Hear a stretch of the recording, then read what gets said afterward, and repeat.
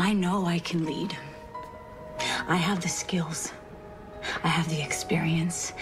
And I want this puppy. This is my medal. I'm putting my hat in the ring.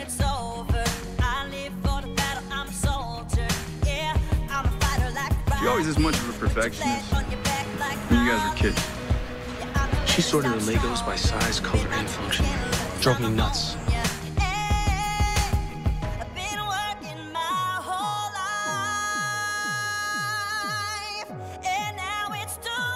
But Andy thinks like a captain. She's the better choice.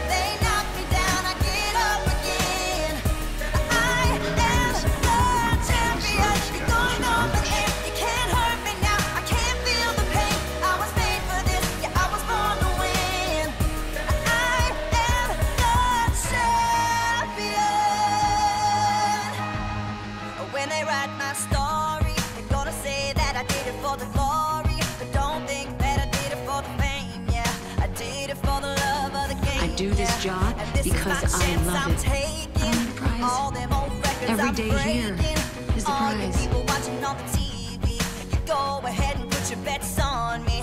I don't just miss. I've been waiting my whole life. I feel like like a part of me is missing.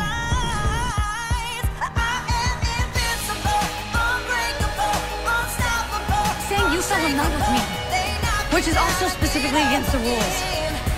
I'm saying I fell in love with you and you did nothing to discourage it. Today I got to bust through a wall to save a little girl.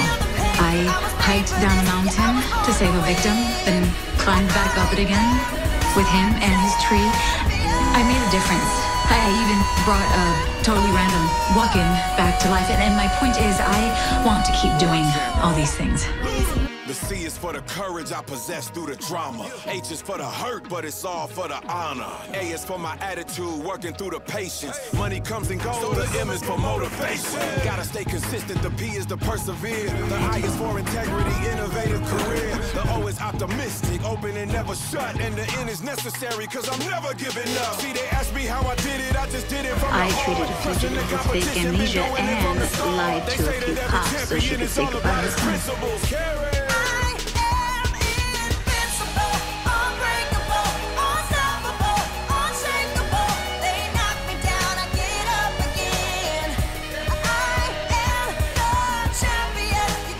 Talk a lot about bravery in this job, but on some occasions a firefighter goes beyond the call of duty.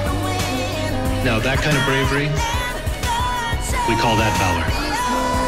And I could not be more proud to award this Medal of Valor to Lieutenant Herrera for her bravery, her strength, and her exceptional service the night of the windstorm, a night we will all remember.